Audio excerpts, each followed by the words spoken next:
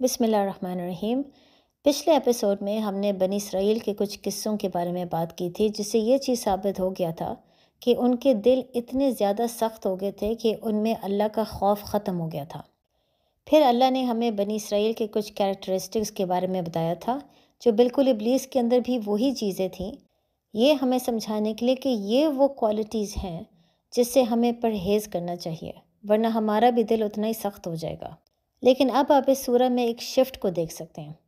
पहले अल्लाह बार बार बनी इसराइल के बुज़ुर्गों के बारे में बात कर रहे थे कि उन्होंने कितनी गलतियाँ की और किस हद तक अल्लाह के हदूद को तोड़ने की कोशिश की। लेकिन अब आके अल्लाह का फोकस उनकी औलाद की तरफ़ हो जाएगा। यानी वो यहूदी जो नबी मोहम्मद अलैहि वसल्लम के टाइम पे मदीना में थे।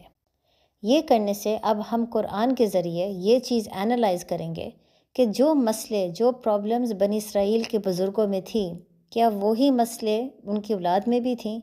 क्या वही इश्यूज़ क्या वही प्रॉब्लम्स हम यहूदियों में देख सकते हैं जो मदीना में थे नबी मोहम्मद सल्लल्लाहु अलैहि वसल्लम के टाइम पर? तो इसलिए अब आप आयत नंबर सेवेंटी फाइव में देख सकते हैं कि अल्लाह कहते हैं, क्या तुम उम्मीद रखते हो कि ये लोग तुम्हारे दीन के कायल हो जाएँगे? हालाँकि उनमें से कुछ ऐसे भी लोग हैं जो तो रात को सुनते हैं, फिर उसको समझ भी लेते हैं और फिर समझने के बाद उसको जानबूझकर बदलते रहते हैं। अब उस ज़माने में 1400 साल पहले, अरब के दिलों में यहूदियों के लिए बहुत ज़्यादा इज़्ज़त थी, क्योंकि वो जानते थे कि यहूदियों को अल्लाह ने बहुत से पैगंबर और बहुत से किताबें नाजिल की हैं। वो हमेशा यही कहते थे कि यहूदियों के पास बहुत इल्म है। और इसके अलावा जब यहूदी हिजरत करके मदीना आए तो वो अमूमन वहाँ के अरब को यही कहते थे कि हमारी किताबों के मुताबिक अल्लाह ने एक और आखिरी पैगंबर भेजना है। बल्कि उस वक्त यहूदी और अरब के बीच में जंगें भी बहुत ज़्यादा होती थीं और जब भी यहूदी हार जाते थे तो वो अरब को यही धमकी देते थे कि हमारा एक आखिरी नबी आ रहा है और जब वो आएगा तो फिर जीत हमारी होगी। इसीलिए बहुत से अरब कंफ्यूज थे कि जब वो आखिरी पैगंबर आ गया तो यहूदियों ने उसको झुटलाया क्यों? हालाँकि यही यहूदी थे जो बार बार उन्हीं को बताते थे कि आखिरी पैगंबर आएगा। तो जब वो आखिरी पैगंबर आ गया और जो उसका पैगाम था, वो वही पैगाम था जो यहूदियों के पास तो रात में लिखा हुआ था तो बहुत से लोग इस चीज़ की वजह से कंफ्यूज हो जाते थे। उनको ये शक पैदा होना शुरू हो गया था कि हो सकता है कि ये नबी वाकई नबी ना हो, क्योंकि अगर ये नबी होता तो सबसे पहले यहूदी इसको मानते। इस कन्फ्यूज़न को दूर करने के लिए और एड्रेस करने के लिए अल्लाह मुसलमानों को ये बात समझा रहे हैं कि जो यहूदी थे मदीना में, वो भी अल्लाह के बहुत ज़्यादा हदूद को तोड़ने की कोशिश करते थे बिल्कुल अपने बुज़ुर्गों की तरह। वो भी बार बार अल्लाह के हदूद को ट्रांसग्रेस करने की कोशिश करते थे। लेकिन जब अल्लाह अब हमें यहूदियों का किस्सा समझाएँगे, वो यहूदी जो मदीना में थे, आप उनकी स्ट्रेटजी में एक फ़र्क महसूस कर सकते हैं। जब अल्लाह बनी इसराइल के बुज़ुर्गों के बारे में बात कर रहे थे तो अल्लाह सबसे पहले उनकी गलतियों का ज़िक्र करने के बाद ये बताते थे कि अल्लाह ने उनके ऊपर किस किस्म की सज़ा नाजिल की। लेकिन अब जब अल्लाह उन यहूदियों के बारे में बात कर रही है जो नबी के टाइम पे मदीना में थे तो आप ये देख सकते हैं कि अल्लाह उन यहूदियों की गलतियाँ बताने के बाद अल्लाह कोई सज़ा का ज़िक्र नहीं करता, बल्कि अल्लाह फिर एक लॉजिकल आर्ग्यूमेंट बयान करता है ताकि अरब, मुसलमान, यहूदी ये सारे बैठ के गौर व फ़िक्र करें। इस वक्त अल्लाह कोई सज़ा का ज़िक्र नहीं करता क्योंकि हम जानते हैं कि जब तक तौबा के दरवाज़े खुले हैं सज़ा किसी को नहीं मिलेगी। सज़ा अब अल्लाह आखिर में क़्यामत के दिन ही देगा। और सज़ा इस वक्त यहूदियों को अल्लाह क्यों नहीं दे रहा था? क्योंकि जैसे कि मैंने पिछले एपिसोड में आपको समझाया क्योंकि यहूदी जो मदीना में थे उन्होंने उस किस्म के मुआवजात नहीं देखे जो उन, उनके बुज़ुर्गों ने देखी हैं। इसलिए अल्लाह का स्ट्रैटी उनके साथ ज़्यादा रिलैक्सड था ज़्यादा लीनियंट था। अल्लाह उनके साथ ज़्यादा स्ट्रिक्ट नहीं थे, बल्कि बार बार समझाने की कोशिश कर रहे थे बार बार कुरान के ज़रिए भी उनको लॉजिकल आर्ग्यूमेंट्स दे रहे थे ताकि वो गौर फ़िक्र करें, तोबा करें और इस्लाम में दाखिल हो जाएँ। अब इन आयतों में अल्लाह जो हमें सबसे पहली बात यहूदियों के बारे में बता रही हैं, वो यहूदी जो मदीना में थे, वो ये थी कि उनकी सबसे पहली गलती ये है, वो अल्लाह के हुक्म को बार बार चैलेंज करते थे और उसको बदलने की भी कोशिश करते थे।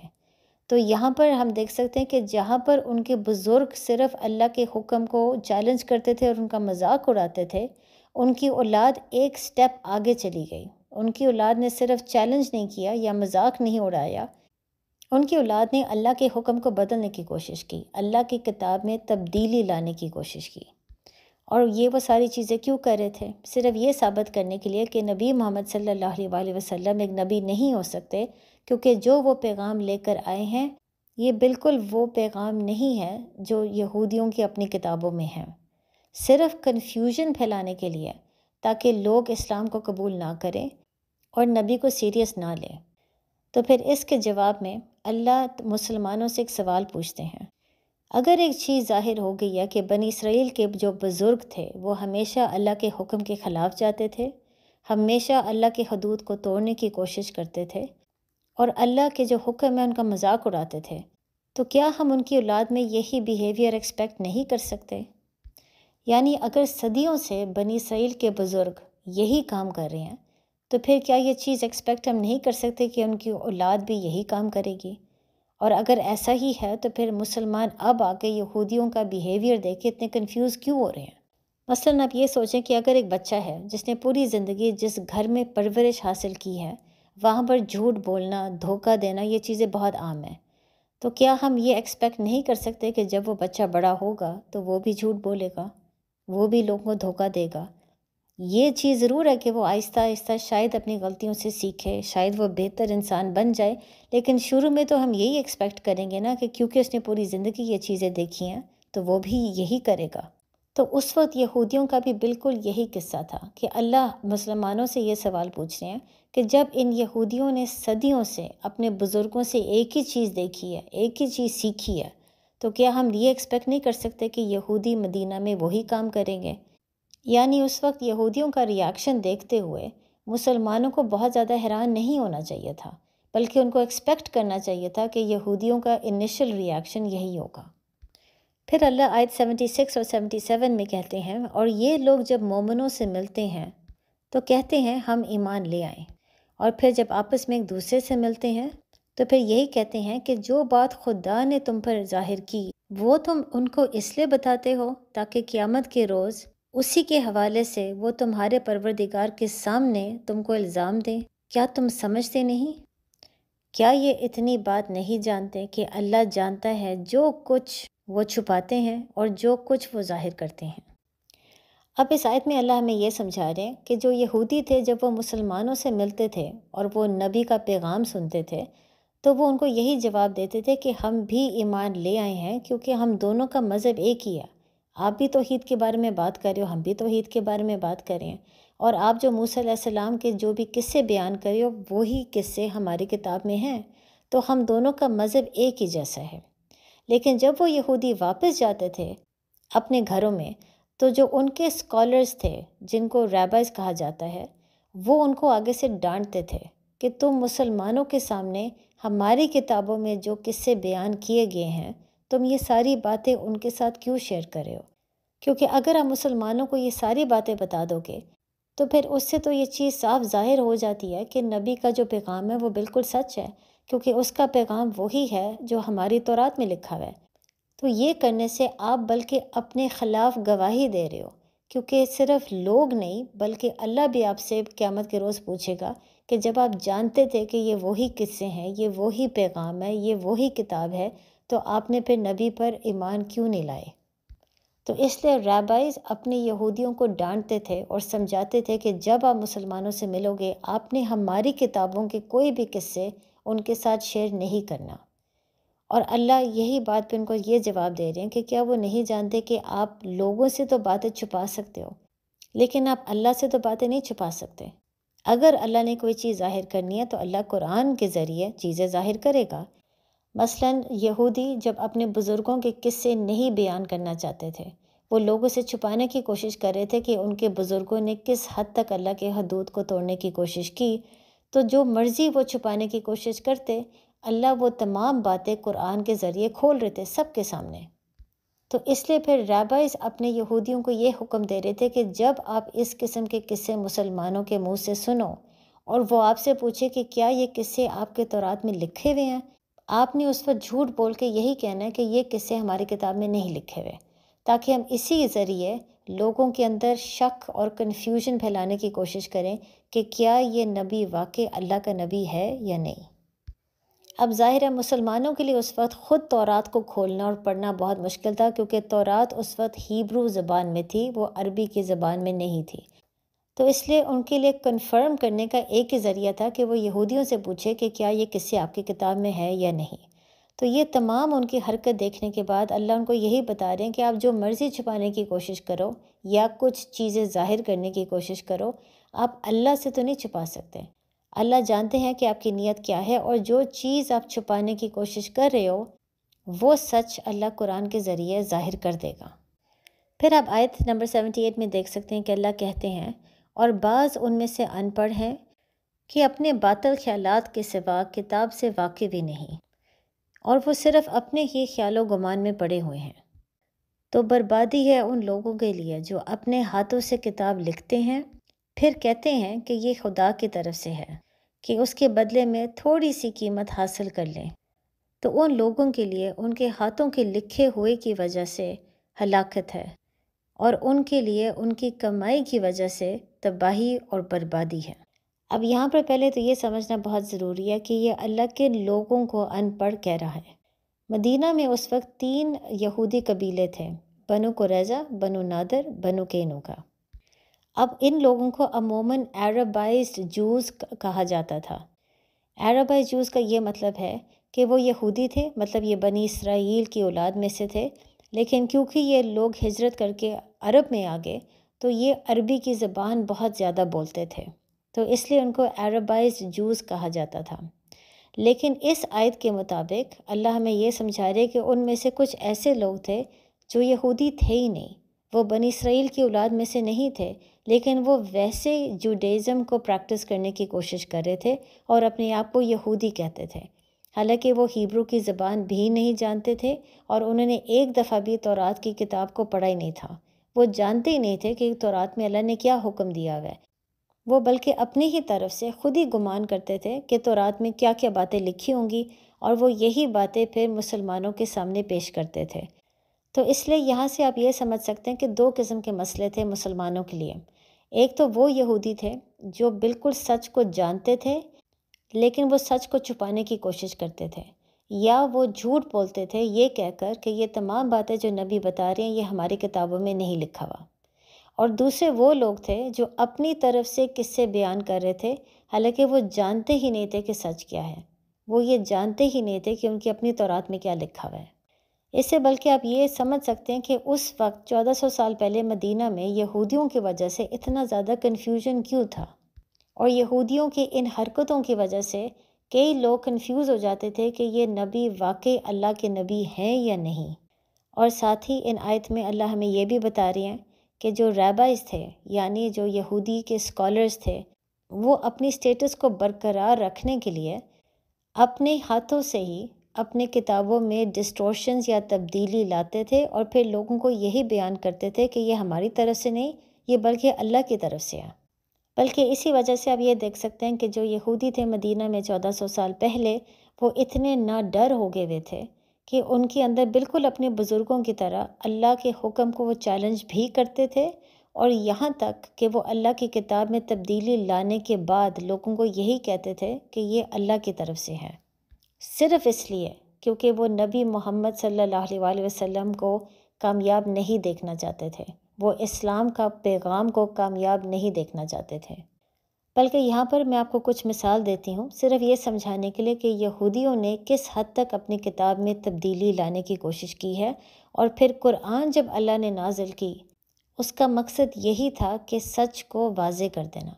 अल्लाह जानते थे कि यहूदियों ने पिछले किताबों में इतनी ज़्यादा तब्दीली करके सच को ख़त्म कर दिया है।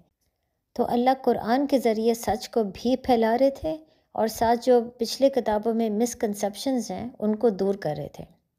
मसलन आप ये देख सकते हैं कि तौरात में यहूदियों ने ये बात लिखी हुई है कि हज़रत सुलेमान सलाम ने एक वक्त पे शिरक किया, बल्कि इस्लाम को छोड़ दिया और बुतों की इबादत करना शुरू कर दी, क्योंकि वो अपनी एक बीवी से बहुत ज़्यादा प्यार करते थे। वो बीवी ने क्योंकि बुतों की पूजा शुरू कर दी तो हज़रत सुलेमान सलाम ने बीवी की मोहब्बत में आकर उन्होंने भी बुतों की पूजा करना शुरू कर दी। इसी तरह वो ये भी कहते हैं कि जब बन इसराइल ने एक बछड़े की इबादत करना शुरू की तो वो बेसिकली हारून सलाम की वजह से थी। वो ये कहते हैं कि जब मूसा सलाम चालीस रातों के लिए कोह तूर पे चले गए अल्लाह की इबादत करने के लिए तो पीछे हारून सलाम ने एक बछड़ा बनाया और फिर उन्होंने बनी इसराइल को समझाने की कोशिश की कि ये खुदा है। तो इससे आप ये समझ सकते हैं कि यहूदियों ने किस हद तक अल्लाह की किताबों में तब्दीली लेकर आए हैं और फिर अल्लाह ने कुरान के ज़रिए, ये आखिरी किताब के ज़रिए सच को बयान करने की कोशिश की है कि सुलेमान सलाम ने कभी भी इस किस्म की गलती नहीं की। ना ही रून सलाम ने कोई ऐसी गलती की है, क्योंकि कोई भी नबी, कोई भी रसूल अल्लाह के हदूद के ख़िलाफ़ जा ही नहीं सकता। हर नबी, हर रसूल हमारे लिए बेहतरीन रोल मॉडल्स हैं। फिर आयत एटी में अल्लाह कहते हैं, और वो बोले कि हम तो आग हर गिज़ ना छुएगी। मगर गिनती के चंद दिन। ए नबी, तुम फरमा दो, क्या तुमने खुदा से कोई वादा लिया है? क्योंकि अल्लाह तो हर गिज़ वादा खिलाफ़ी नहीं करता, बल्कि तुम अल्लाह पर वो बात कह रहे हो, जिसका तुम्हें इल्म नहीं। क्यों नहीं? जिसने गुनाह किया और उसके खिता ने उसका घेराव कर लिया तो वही लोग जहन्नम में होंगे, हमेशा उसमें ही रहेंगे। और जो ईमान ले आए और अच्छे काम किए, वो जन्नत वाले हैं उन्हें हमेशा उसमें ही रहना है। यहाँ पर अल्लाह हमें एक और मिसाल दे रही हैं कि यहूदी जो मदीना में थे, वो ये कहते थे कि क्योंकि वो एक चोज़न नेशन है, अल्लाह ने हमेशा उनको पैगंबर और किताबें भेजी हैं, अल्लाह उनसे बहुत ज़्यादा मोहब्बत करता है और वो उनको कभी भी जहन्नम में नहीं भेजेगा, बल्कि अगर कोई यहूदी जला भी जाता है जहन्नम में तो वो सिर्फ़ चंद दिनों के लिए जाएगा। इसके बारे में अल्लाह मुसलमानों से कह रही हैं कि यहूदियों से ये सवाल पूछें कि क्या यहूदियों ने अल्लाह से कोई वादा लिया है? क्योंकि अल्लाह तो हमेशा अपना वादा पूरा करता है। या क्या वो अल्लाह के बारे में कोई ऐसी बात कर रहे हैं जो वो ख़ुद भी नहीं जानते? क्योंकि सच बात यह है कि हर इंसान की अकाउंटेबिलिटी होगी। जो इंसान ईमान ले आया और उसने नेक और अच्छे अमल किए, वो ही जन्नत में जाएगा। इसके अलावा अल्लाह ने किसी कौम से कोई वादा नहीं किया हुआ कि जो मर्ज़ी वो करे, अल्लाह उनको लाजमन जन्नत में ही डालेगा। फिर इसके बाद अल्लाह आयत नंबर 83 में कहते हैं, और याद करो जब हमने बनी इसराइल से अहद लिया कि अल्लाह के सिवा किसी की इबादत ना करो, और माँ बाप के साथ भलाई करो, और रिश्तेदारों और यतीमों और मस्किनों के साथ अच्छा सलूक करो, और हमेशा लोगों से अच्छी बात करो। नमाज़ कायम रखो और ज़क़़त दो। फिर तुम में से चंद आदमियों के अलावा सब फिर गए, और तुम वैसे ही अल्लाह के हुक्म से मुँह मोड़ने वाले हो। और फिर याद करो जब हमने तुमसे अहद लिया कि आपस में किसी का खून ना बहाना और लोगों को अपने बस्तियों से ना निकालना। फिर तुमने इकरार भी कर लिया और तुम गवाह हो। फिर ये तुम ही हो जो अपने लोगों को कत्ल भी करने लगे और अपने में से एक गिरोह को उनके वतन से निकालने लगे। तुम उनके ख़िलाफ़ गुनाह और ज़्यादती के कामों में मदद करते हो, और अगर वही कैदी होकर तुम्हारे पास आए तो तुम मुआवजा देकर उन्हें छुड़ा लेते हो। हालाँकि तुम्हारे ऊपर तो उनका निकालना ही हराम था। तो क्या तुम अल्लाह के बाज़ अहकाम को मानते हो और बात से इनकार करते हो? तो जो तुम में से ऐसा करेगा, उसके बदले दुनियावी ज़िंदगी में ज़िल्लत और रसवाई के सिवा क्या हो सकता है? और क़ियामत के दिन उनको शदीद तरीन अजाब की तरफ़ लौटाया जाएगा और अल्लाह तुम्हारे अमाल से बेखबर नहीं। यही वो लोग हैं जिन्होंने आखिरत के बदले दुनिया की ज़िंदगी ख़रीद ली। तो उनसे ना तो अजाब हल्का किया जाएगा और ना ही उनकी मदद की जाएगी। अब इन आयतों में आप ये देख सकते हैं कि जैसे बनी इसराइल के बुज़ुर्गों को भी यही कहा जाता था कि लोगों के साथ अच्छा सलूक करो और हमेशा सच बोलो लेकिन वो हमेशा इन तमाम चीज़ों के ख़िलाफ़ जाते थे, झूठ बोलते थे और लोगों से बुरा सलूक करते थे। यही चीज़ अब आप उनकी औलाद में देख सकते हैं। जहाँ पर अल्लाह ने हुक्म दिया सच बोलने का, यहूदी जो मदीना में थे, वो सिर्फ़ झूठ बोलते थे। वो सच को छुपाने की कोशिश करते थे, सिर्फ़ इसलिए ताकि नबी मोहम्मद सल्लल्लाहु अलैहि वसल्लम को कोई सीरियस ना ले, इस्लाम की जीत ना हो सके। बल्कि अब ये भी देख सकते हैं कि जो अल्लाह ने शरीयत बनी इसराइल को दिया, जो आयत 83 में लिखा हुआ है ये वही बातें हैं जो कुरान में लिखी हुई हैं। इससे दोबारा ये चीज़ साफ़ ज़ाहिर होती है कि ये हो नहीं सकता कि यहूदियों को बात नहीं समझ आ रही थी नबी की, या उनको वाकई कोई डाउट था कि ये अल्लाह के नबी है या नहीं। इसके अलावा आयत 84 से 86 में अल्लाह हमें एक और मिसाल दे रहे हैं कि यहूदी किस तरीके से अल्लाह के हुक्म का मज़ाक उड़ाते थे और उसको चैलेंज करते थे। अब इस्लाम के आने से पहले मदीना में दो बहुत बड़े अरब कबीले थे, जिनका नाम था औस और खजरज। खजरज का कबीला बहुत बड़ा था, औस का उसके मुकाबले में ज़्यादा छोटा था, लेकिन उसके बावजूद इन दोनों कबीलों का हमेशा बीच में झगड़ा ही रहता था मदीना में। अब साथ ही आपको याद होगा, मैंने आपको पहले भी बात बताई थी कि मदीना में तीन यहूदी कबीले भी थे, बनु कुरैज़ा, बनु केनुका और बनु नादिर। ये तीनों यहूदी कबीले जानते थे कि वो मदीना में सिर्फ़ तभी रह सकते हैं अगर वो औस या खजरज के साथ दोस्ती रखेंगे। तो इसके बेसिस पे बनु केनुका की दोस्ती खजरज के साथ थी और बनु नादर और बनु कुरैज़ा की दोस्ती औस के साथ थी।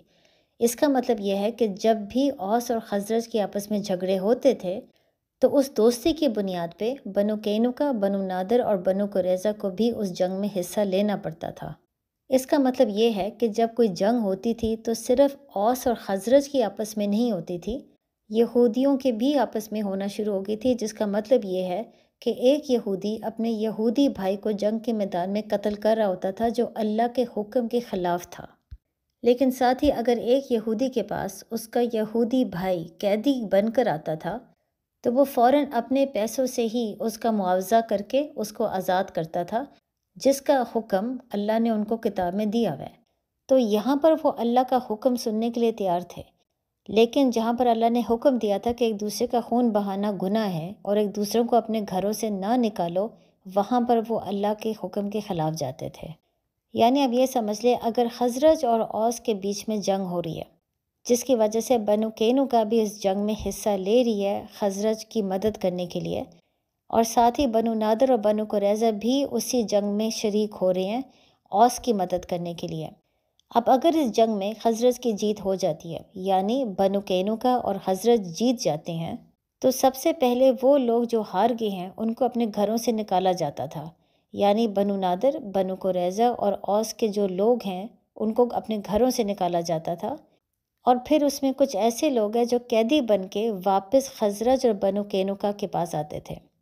अब उस वक्त बनु केनुका जब ये देखते थे कि उनके यहूदी भाई बनु नादर में से या बनु कुरैज़ा में उनके पास कैदी बन के आए हैं तो वो अपने ही पैसों से उनका मुआवजा करके उनको आज़ादी देते थे। और ये काम करके उनको ये महसूस होता था कि अल्लाह उनसे राज़ी होगा क्योंकि वो अल्लाह के हुक्म को मान रहे हैं। हालाँकि वो ये नहीं सोचते थे कि जिन लोगों को वो आज़ादी दे रहे हैं उनमें से कुछ ऐसे हैं जिनको उन्होंने कत्ल किया और कुछ ऐसे हैं जिनको उन्होंने ख़ुद अपने घरों से निकाला, जिसकी इजाज़त अल्लाह ने नहीं दी थी। यानी अल्लाह हमें यही समझा रहे हैं कि यहूदी जो मदीना में थे, उनकी भी वही आदत थी जो उनके बुज़ुर्गों की थी कि अल्लाह के कुछ अहकाम को मानना और कुछ अहकाम को इग्नोर करना।